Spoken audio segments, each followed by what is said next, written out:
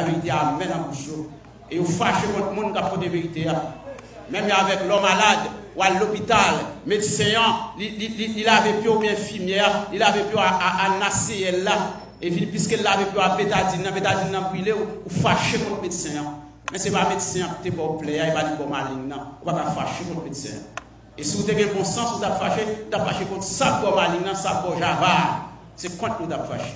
Mais nous-mêmes, c'est contre le monde qui a côté vérité, c'est contre nous fâché. Et c'est comme ça l'église est forte. Mais nous-mêmes, nous ne pas payer parce que nous avons la puissance de Dieu sur nous. Nous avons la puissance de Dieu avec nous.